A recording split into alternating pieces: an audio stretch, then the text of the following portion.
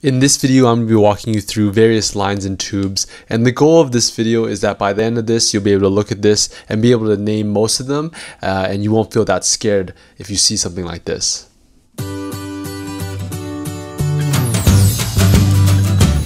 For more educational resources, like our medical ID cards, check out medicalbasics.com.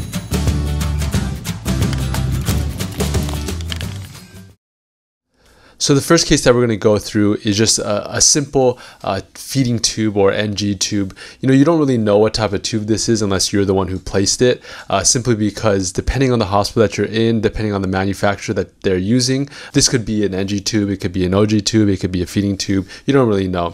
Let's say, for example, this were an NG tube where exactly would you want this to be? Well, typically these NG tubes are, are for suction. What you want is you want to make sure that their side port is, you know, past the GE junction in the stomach and then the tip is in the stomach as well.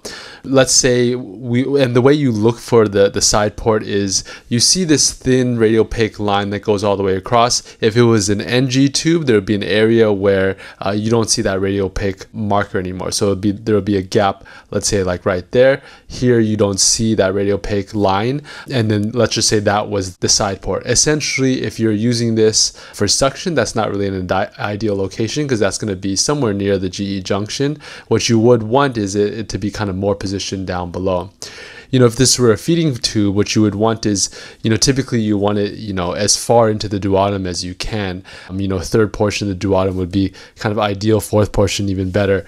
And so oftentimes these will just kind of lay in the stomach. And for feeding purposes, that's not really the most ideal setting because you can imagine if they feed them, things will go into the stomach and then they lie down and then everything goes straight back up, going up. So, you know, typically what you want is you want these NG tubes that are to suction. You want the side port in the stomach. You want the tip, you know, also in the stomach more deeper. And then these feeding tubes, you want them uh, well into the duodenum as far as you can get in there. This is going to be an example of a feeding tube, most likely a weighted tip feeding tube. Essentially, it's, you know, down here, the tip is not really coursing in the pathway of where your esophagus would go. You typically like to see it go that way and then into the stomach. This one is going, you know, probably in the right mainstem bronchus. So instead of it going into the esophagus, you know, it went into the airway instead. Uh, I wouldn't say it's very common, but it does happen. So something you want to look out for. Next thing, I mean, there's two lines here. The one that I wanted to focus on in this situation was your endotracheal tube. We also have a right internal jugular line as well you know, typically where you want this to be, you want this to be somewhere, you, know, in the mid thoracic trachea. You don't want it to be in the thoracic inlet. You don't want it down here in the carina. You want it somewhere in between. You know, this is a pretty adequate position. Typically, what people say is, you know, five centimeters plus or minus two above the carina. Um, that will give you room for if you lift up your chin, this tube will go up. When you lower your chin, this tube will go down. It almost seemed a little bit counterintuitive to me, but it kind of has to do with just like lowering your chin is going to lower this tube farther down. So that's why you don't want it too close. It will move quite a bit when you position your neck going up or going down. So that's why you kind of want it roughly in this location. So this is a fairly good position uh, for the endotracheal tube you know, typically, like I mentioned, five centimeters plus or minus two above the carina. Some people, you know, they say between the carina and the clavicles. The problem with that is that, you know, that could be true only if it's a perfect exam, right? Like you can imagine if the positioning of the patient isn't perfect, the clavicles could be here, the clavicles could be up here, the clavicles could be way down here. You know, there's so much variability. So I don't love this way that people describe it. But typically the carina is at the level of T4 or 5. So, you know, where you would want this to be is about like two vertebral bodies above there, more or less. This is an example. If we were to look at our endotracheal tube, that's this guy right here. It's coursing down towards the right. It's coursing down. It, our carina is right here. So it goes like that. If you can see it right here the endotracheal tube is going down your right main stem. So what's happening similar to our NG tube case, it's not going that far, but it's kind of going slightly in, and then you're going to have a lung collapse on the left side. That's why you have this diffuse opacification. So this needs to be, you know, farther up. It needs to be somewhere around here rather than in the right main stem bronchus. So that's just, you know, another consideration. Our next case, this is going to be a left upper extremity PICC. The reason why I know it's a PICC and not, let's say, an internal jugular line, we'll take that for the first one. That's going to go somewhere like that. If this was a subclavian line, it would go above the clavicle. And then here we know that it's also going to be a PICC most likely because it's kind of coursing in the axilla going down the arm. So you just kind of have to uh, trust me on this one that this is going to be a PICC. As you see more, then it'll be a little bit more clear. But these where you want them ideally is the superior cavoatrial junction. This is an okay placement. Kind of where I would have put the superior cavoatrial junction is about right there its superior cavoatrial junction is exactly kind of if you break it down it's where uh, the superior vena cava meets the atrium, right? The right atrium. So it's the superior caval atrial junction. So the junction between the superior vena cava and the right atrium. So this whole thing right here is the right atrium. This guy right here is a, a superior vena cava. So it's probably like in the distal SVC, which is fine. It's central. You really don't want it up in, you know, either the brachiocephalic. You definitely don't want it into the, the subclavian. But this is an okay position. Oftentimes these things tend to go up. So they tend to go up uh, either that way or they go that way into uh, you know going up into the right IJ, going up into the right subclavian. If it's let's say for example this was a left upper extremity PICC. so just want to look out for that. Sometimes these things curl on each other, and so they they get kind of clogged up in terms of it's not perfectly straight. So you just want to make sure all of that is straight, and also you want to make sure that there's no pneumothorax when you're looking at these. So this is just kind of a you know ideal situation of superior cavoatrial junction. It's the border of this right lateral heart border, and then the superior vena cava, which is this this line in, in blue, and then the right atrium is the line in red. Um, so that's roughly where you want it. As you see more, it'll become a little bit clearer. What becomes more difficult is when, let's say, the diaphragm is all the way up here, and then you don't really know where exactly it, it should be. So you kind of just have to have a rough estimate of kind of where the contour goes wider, where the right atrium is. That's kind of the start of that is more or less your superior cavoatrial junction.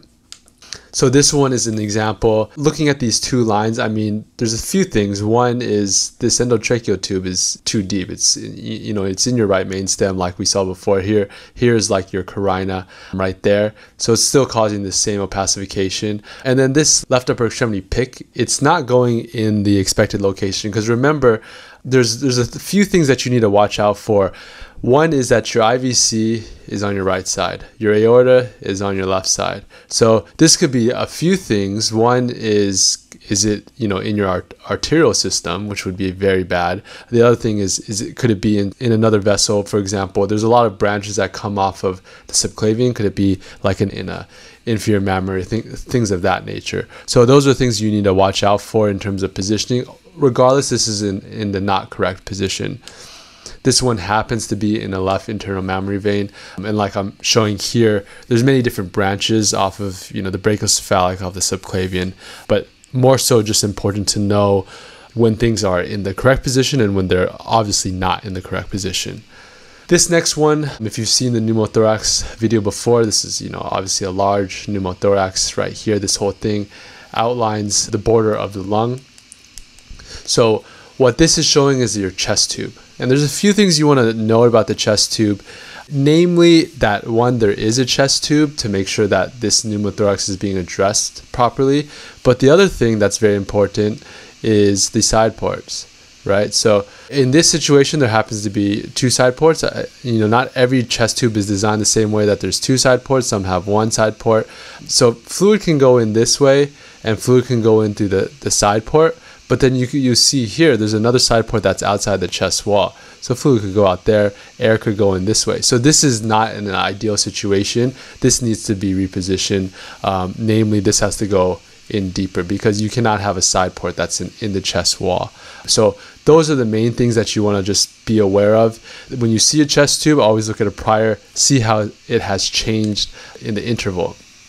This is another one where we have a chest tube. We don't clearly see where the tip is, but I think if I were to window this for you properly, um, you would see that the tip is just barely into the barely into um, the the pleura, and then you have all this you know subcutaneous gas.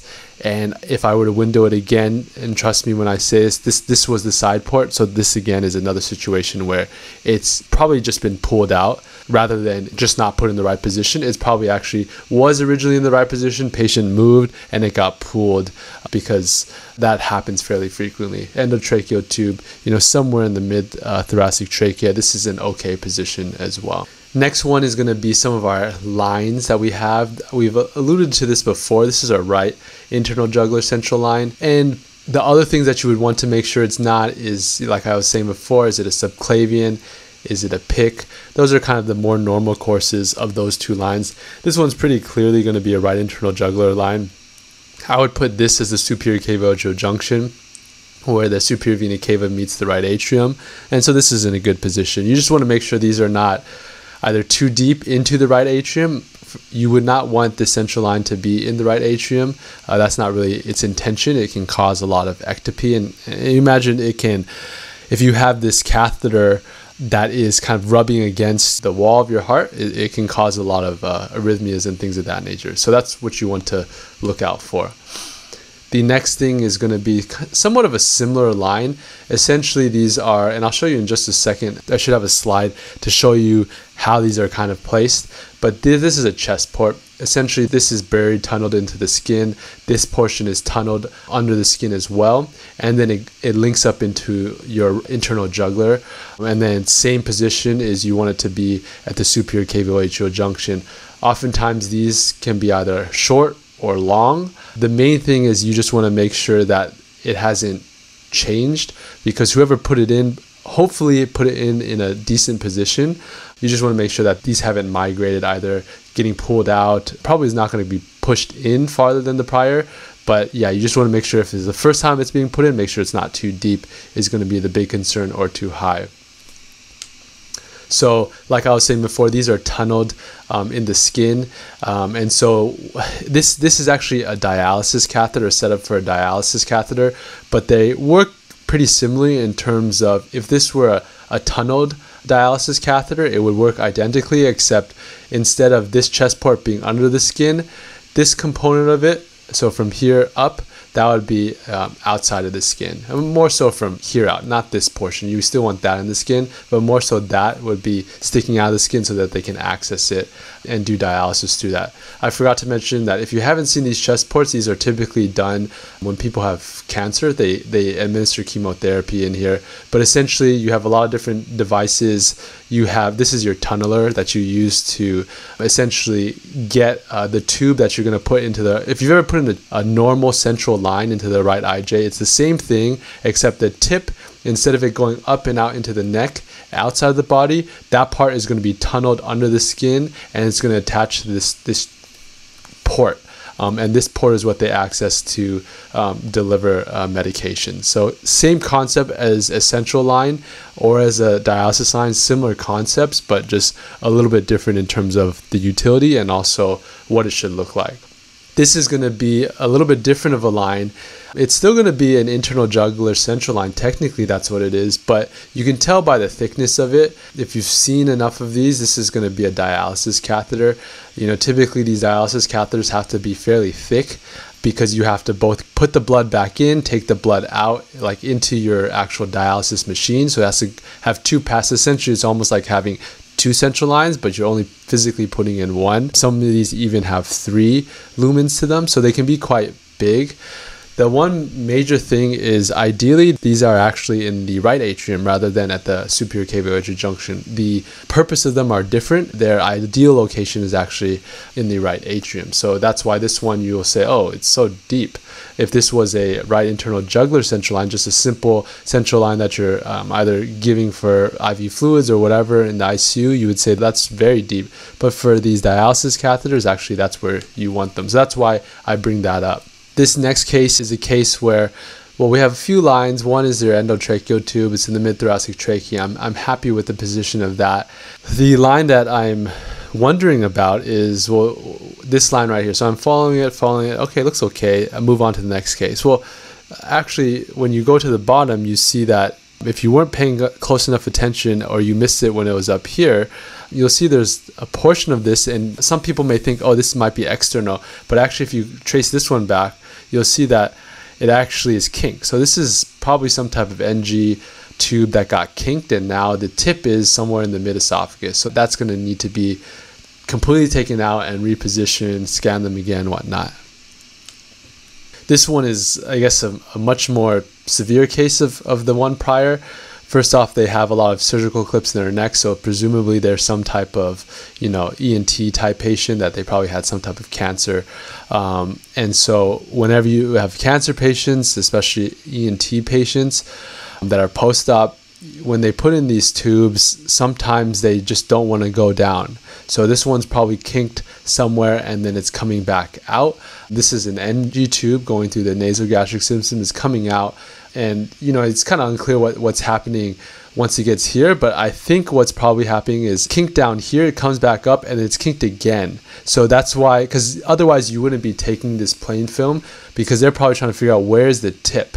Because if it completely came out and this is outside of the skin you would think that they would know and they would take this tube out completely. So probably they don't really see that it's looping back and going up into you know in an abnormal position. So that's kind of what we see there. So this next one is there's a few um, devices in this one. Uh, what I mainly wanted to point out is this is let's say this is you know yesterday's film and then we see this today. You know what the main thing you want to look at is what are the differences between the two. They obviously have all these median sternotomies. They're post-op cardiac patient. They have this mediastinal drain that looks to be the same. I don't expect these mediastinal wires to be different but one thing you want to look at is is there any breakage there? Is there you know any fracture of any of these wires? So that's one thing. So that that is not i should be clear that there is no fracture of any of these wires. The other thing is there's an endotracheal tube. It was in a good position before got taken out. So probably the patient's doing a little bit better. And then you have this wire that's coming here. And so this one if you haven't seen one of these before this is a pulmonary artery catheter it's a Swan. If you've heard of the Swan Ganz catheter, essentially it's going to go, you know, your right IJ, SVC, into your right atrium, right ventricle, and then it's going to go into your main pulmonary artery. So it can be in your main pulmonary artery. It sometimes can be into your right or left pulmonary artery as well. If it ever gets into a segmental branch, that's going to be you know definitely malpositioned. Here if you look at between here and here you know this one now is in probably a left pulmonary artery system. It potentially could be in a segmental branch. It may be okay in this position, but it is definitely different. So, you know, this is just something that uh, it, it could potentially be pulled back a little bit, but it's in a okay position, but not ideal. That's how I would phrase it in terms of for you to, to know. It's, it's, it's not in the best position, but it could be worse if it was in, in some type of segmental branch. So this last case that I want to show you is going to be two different devices that we haven't seen before. First off, we'll just talk about that there's the endotracheal tube, there's some line in the right internal jugular. We don't really see the tip, so we don't know exactly where it is. But we have two other devices. One is this big guy right here. This is a pacemaker. It's a left chest wall pacemaker. And there's different leads. There's some that are single lead, there's some that are dual lead, there's some that are three lead.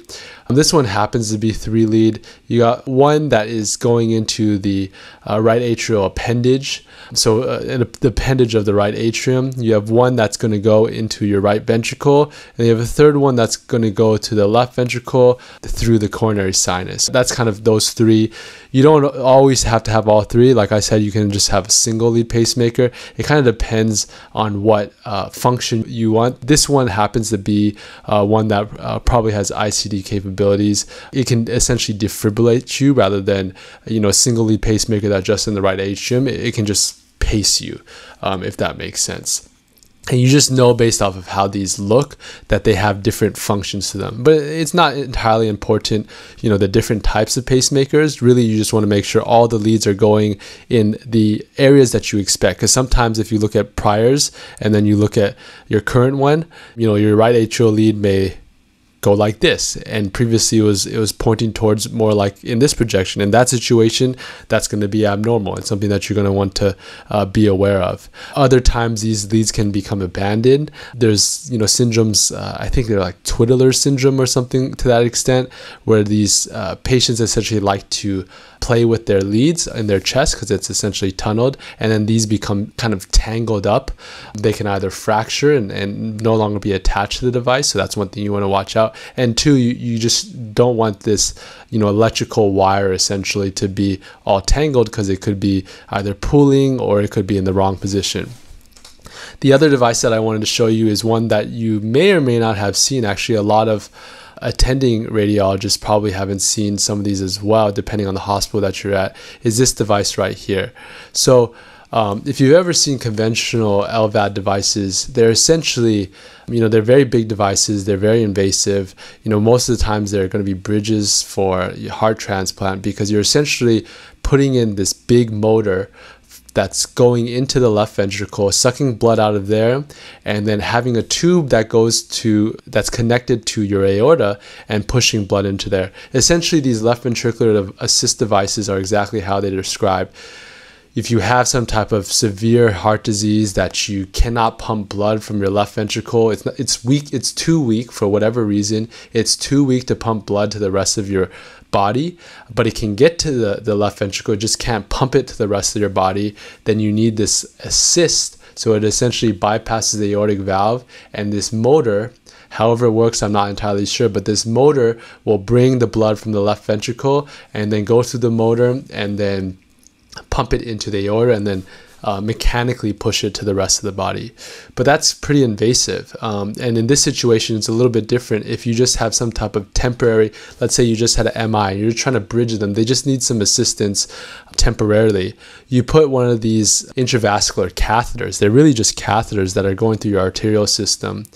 This portion of it is in the aorta this portion of it is in your left ventricle. It's essentially sucking blood going into this tubing here, bypassing the aortic valve, and then coming out the other end into your aorta. And so this is a fairly new device, but a very popular one, or is being becoming more popular that really is a minimally invasive left ventricular device and it's called an Impella. You should become familiar with this because this will be something that you'll see more and more frequently as time progresses. So hopefully going through all these different cases, hopefully you have a little bit better understanding in terms of what the different devices are and kind of some of the pitfalls that you'll be looking for in order to determine whether or not they're in the correct position or they're in abnormal positions. Be sure to check out our website, medicalbasics.com, for more educational resources like our progress notebook, and don't forget to subscribe to our channel for more tips and lessons.